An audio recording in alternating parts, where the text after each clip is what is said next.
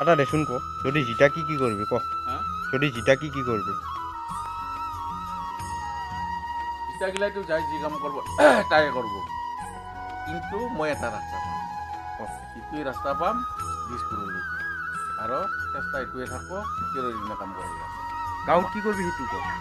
গাঁৱত কি কৰবি গাঁৱৰ কথাটো চিন্তা কৰিবই লাগিব। ঘৰক লৈ। তাৰপিছত আমাৰ অসমৰ পৰিস্থিতি একেবাৰে বেয়া।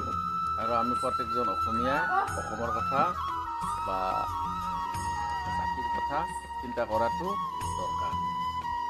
আৰু সেয়ে মই নহয় আমি সকল অসমীয়াই অসমৰ কাৰণে চিন্তা কৰাটো উচিত।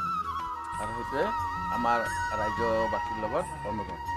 কিন্তু প্ৰথমতে যে গাঁৱটোহে কৰিব লাগিব আগতে? ফাৰ্ষ্ট টাইমত নিজৰ কথাটো চিন্তা কৰিব লাগিব। সেইটো কথা। আচল কথা হ'ল নিজৰ ঘৰখন ভাল হোৱাৰ পিছত গাঁৱৰ কথা চিন্তা কৰিব পাৰে।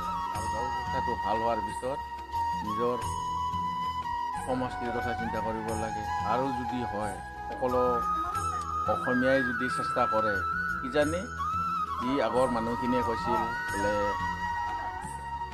সোণৰ অসম। সেই সোণৰটো নহয় আমি হীৰাৰ অসম বনাব পাৰোঁ। আমি অসমীয়াখিনি যদি একতা হৈ একতাৰ লক্ষ্য লৈ যদি আমি কাম কৰি যাওঁ তেতিয়া অসমত দুখ বোলা বস্তুটো নাইকিয়া হৈ যাব কিন্তু এক নম্বৰত একতা। আচ্ছা ভাল বাৰু। থেংক ইউ ধন্যবাদ আপোনাক।